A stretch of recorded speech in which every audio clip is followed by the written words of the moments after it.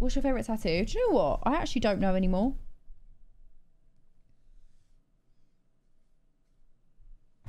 I do love these ones. Like I just love the style of these ones. But I love this tattoo here, and you never get to see it because it's behind me. I never get to see it. Do all your tattoos mean something? I know there's seven and your and there's your your sister one, but do the others? Basically, most of them have some sort of something ish.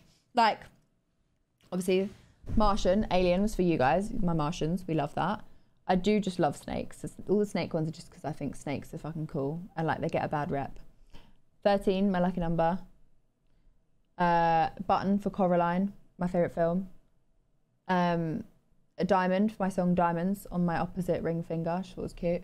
And then this blue and green heart. The green side is Freya. The blue side is G. Their two favorite colors.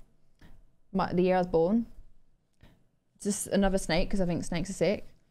Um, this is the Friends, like picture frame from Friends on their door. Red Taylor Swift's album that I love. This is just a little tape recorder, just because we love music, don't we? My cousin is called Evie, and her little brother is called Teddy. So it's a little Eevee Pokemon holding hands with a teddy bear. That is my sister in anime form. This is something my mum says to me.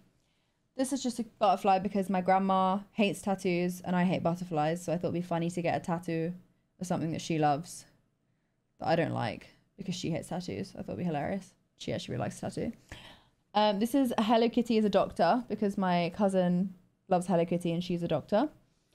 This is a crybaby plaster because I'm a crybaby. Seven, obviously Simon, we know that one.